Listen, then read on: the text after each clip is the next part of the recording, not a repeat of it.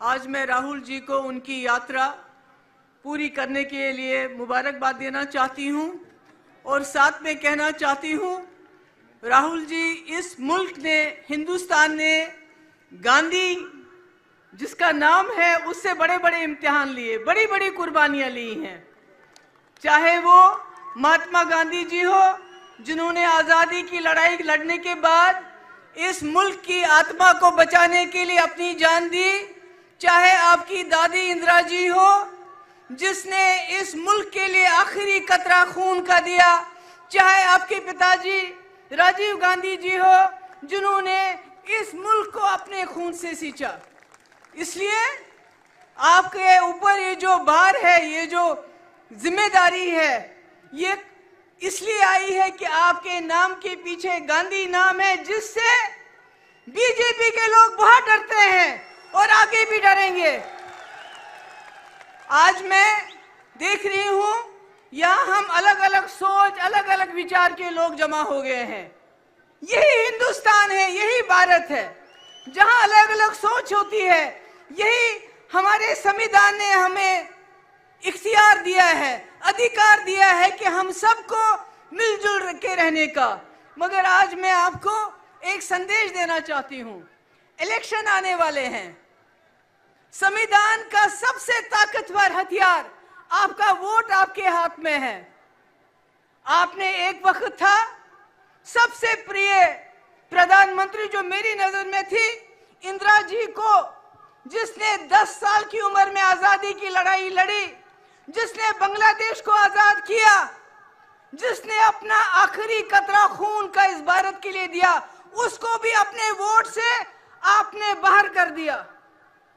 आपने 2014 में मोदी जी को चुना, जिन्होंने कहा, सबका साथ, सबका विकास, सबका विश्वास। जिन्होंने कहा, मैं हर साल दो करोड़ नौकरियों दूँगा। जिन्होंने कहा, पंद्रह लाख रुपए जमा करूँगा तुम्हारे खाते में। जिन्होंने कहा, कांग्रेस साढ़े चार सौ रुपए में गैस सिलेंडर देती है, मैं चार सौ में दूँगा। जिन्होंने कहा, औरतों के साथ जाती हो रही है। मैं उनकी रक्षा करूँगा। और आपने वोट दे दिए। मगर 2019 में उन्होंने कुछ भी ऐसा काम नहीं किया और पुलवामा के शहीदों के नाम वोट मांगे। उन शहीदों के नाम जिनके लिए सतपाल मलिक साहब कहते हैं कि उनको उनकी लापरवाही की वजह से शहीद होना पड़ा। आपने फिर वोट दिए। और आज 10 साल के बाद मोदी जी न 10 करोड़ नौकरियाँ, न 15 लाख जमा, न औरतों की सुरक्षा, न किसानों की डबल आयु, न एमएसपी कुछ भी नहीं। मगर आप कहते हैं 400 पार। ये 400 पार क्यों करना चाहते हैं? आप मेरी बात सुनिए, क्योंकि ये संविधान को बदलना चाहते हैं। आपके हाथ में से आपका वोट छीनना चाहते हैं, ताकि जिस वक्त आप लोग जाग जाओ, आप इनको बाहर करना चाहो, आपके वोट में वो ताकत नहीं रहेगी। हम ऐसे हो जाएँगे जैसे चीन में वो किसी को भी वोट डालते हैं चुना एक आदमी जाता है, एक जमात चुनी जाती है। जैसे प्यूटन रशिया में चुना जाता है।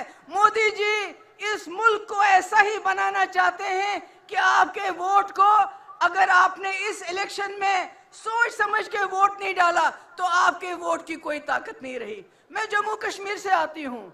वहाँ संविधान खत्म है।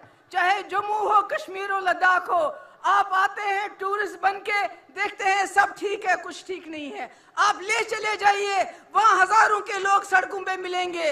मगर कश्मीर में कोई सड़क पे नहीं आता है। अगर आता है, उसको जेल में डालते हैं।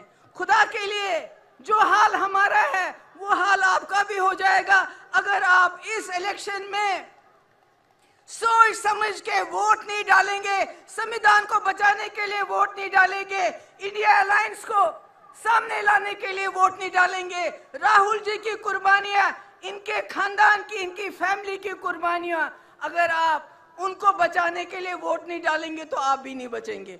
मैं आप सबकी बहुत शुक्रगुजार हूँ, मुझे बताया गया, पाँच मिनट में बात खत्म करनी है बहुत बहुत शुक्रिया।